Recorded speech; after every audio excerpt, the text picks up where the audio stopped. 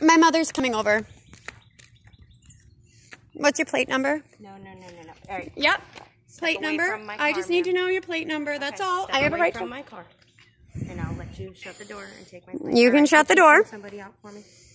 White female. Uh, what early forties? Early 40. My mother's coming over so you can do your investigation or whatever. I just need your plate number. That's all. They're not to have contact with me. All right, I'm in the street. Please don't come near my car again. Can you please make it so I can see your plate number? Thank you, ma'am. What's your name? Go ahead. What's your name? No, What's your name? I'm not gonna do this, ma'am.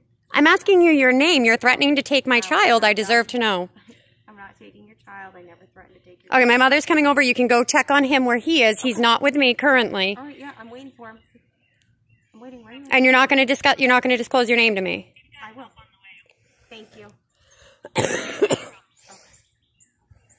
All right, you want one of my business cards? Yes, please, but I need your plate number. Just don't go close to my car, okay?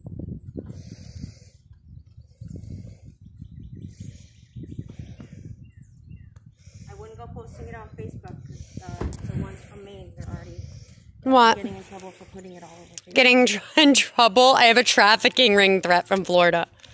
What's your plate number? Can you please close that? Not right now. I'm trying to work, okay?